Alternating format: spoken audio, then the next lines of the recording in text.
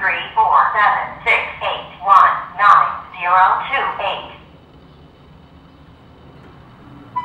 Danny, it's me. Um, listen. I'm sorry. You know, uh, I, I can't imagine what you must be going through right now. And I'm, I, I want to apologize for not standing up for you at the quad today when everybody was laughing. Uh, I've never been in a situation like that before. I, I didn't know what to do. And you know, honestly, there's been a lot of tension between me and you. because I was out for everybody and you weren't. And I always just felt like you had it easy and I had to struggle. But this is, this was just taking it too far. I can't imagine what you must be going through right now.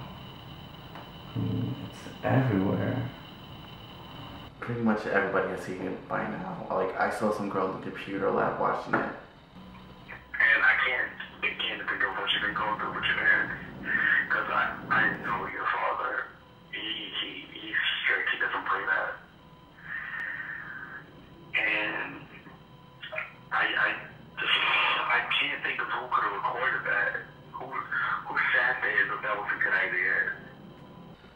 And you know, our, our class is really worried about you. Professor, he asked me, where's, where's Danny at? James, where's Danny? And I'm just like, I don't know what to tell him. But, you know, we just want to see you again. You missed the midterm. And I I just don't know if you're doing, okay? Call me back, Danny. Call me back.